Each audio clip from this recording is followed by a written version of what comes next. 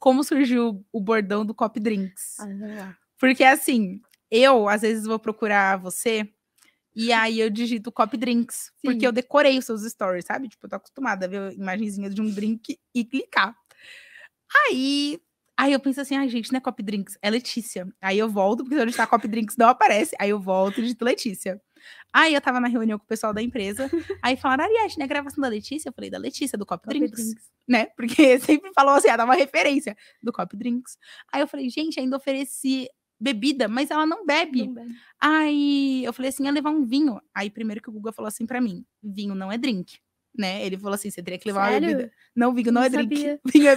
É a única coisa que eu tava. que eu- Não, vinho é bebida. Vinho é bebida, uísque é bebida, tudo é bebida. Porque drink você precisa compor, sabe? Precisa misturar alguma coisa. Então até nisso eu ia errar. Nossa. Mas você não bebe. E aí conta a história do Cop Drinks pra Então, gente. Foi assim, os meus pais, eles não sabem falar copywriter. Aí eles começaram a falar. A minha mãe, ela tem uma escolinha de reforço, né? E o meu pai, ele vende umas coisinhas lá no Magazine Luiza pra fazer renda extra, não sei explicar direito.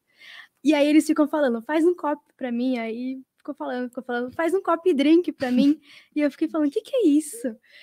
Aí é porque eles não sabem falar. E aí teve um dia que eu tava vendo um curso de marketing e tal, e aí estavam falando, você que precisava criar uma narrativa, criar um ritual nos seus stories para os seguidores te associarem a alguma coisa. E aí eu lembro que eu acho que eu tava na missa, na igreja e tal, e aí teve um momento que tava todo mundo parado assim, eu tava pensando, não, foi no final da missa, que eu virei pro meu marido e falei assim, eu não tenho nenhum ritual no Instagram. As coisas que a gente pensa. Amor, eu tava ali rezando. Eu tava rezando e eu pensei isso. eu não tenho nenhum ritual. Ilu- iluminou, assim. E aí ele falou assim, por que você não chama eles de copy drinks, que é o que os seus pais te chamam? Eu falei assim, boa, vou criar um, vou contar essa história e vai ficar, porque realmente é algo que você não ouve falar por aí, né? Só os meus pais. E aí eu falei assim, eu contei a historinha que meus pais não conhecem, não sabem falar direito e tal, porque é um termo em inglês, e eles começaram a me chamar de copy drinks, eu falei assim, ah, pra homenagear os meus pais, vou chamar todo mundo que tá aqui de copy drinks. E aí ficou, E pegou? pegou. Ah, eu, Aí pelo todo menos. "Ai, cadê os drinks? Cadê o copy drinks? Tem uns destaques no perfil dela também contando essa história, Entendo. gente. Eu, perguntar da vida dela hoje, eu sei tudo, assim, entendeu? Ah, é isso, É isso. Mas. E hoje eles te chamam de copy drinks ainda ou eles chamam de Chamam copywriter? De copy drinks. Ficou. Pelo menos drinks. ficou. Eu, particularmente, sou fã de storytelling. Nossa, eu adoro. Eu Não, adoro coisas com significado. Quando eu vi o, o da mentoria, que você antes estava explicando o nome, falei assim: é isso, porque eu adoro uma coisa que veio do Então, grego. meu, pior que tudo pra mim tem que ter um significado. Isso é até ruim, porque quando eu vejo alguém com uma tatuagem, eu vou lá e pergunto Pergunto, qual é o que significado. E a pessoa fala, eu só achei bonita.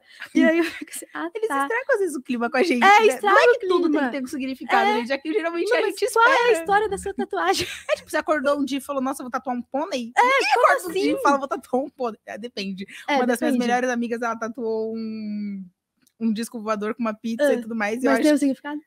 eu acho que não. Eu acho que é literalmente um disco voador com uma Que pizza. achou bonito.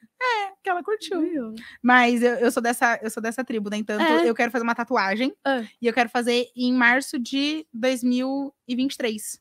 Mas ela tem uma data tatuagem. Ah. Porque o, a, o data da tatuagem é o dia que eu passei na faculdade de Direito. E aí foi o Hum. dia que eu tinha que escolher se eu ia me matricular na faculdade de Direito ou se eu ia continuar em marketing. Só que, como a minha última oração para Deus foi tipo assim: eu tô cansada, que seja feita a tua vontade. E aí eu aceitei, e aí os caminhos literalmente se abriram pra Ah. fazer marketing. Eu meio que aceitei que era vontade de Deus que eu fizesse Fazer isso. marketing. E aí o nome da empresa é 315, porque 315 é a abreviação de março de 2015, que foi quando eu escolhi de verdade o marketing não direito. Porque eu ainda tinha a, possibilidade de passar na faculdade e falar assim: eu vou largar tudo isso aqui, Vai. vou fazer o que eu queria. Mas não era, não, o era pra eu estar aqui mesmo. Amei. É, é, bem.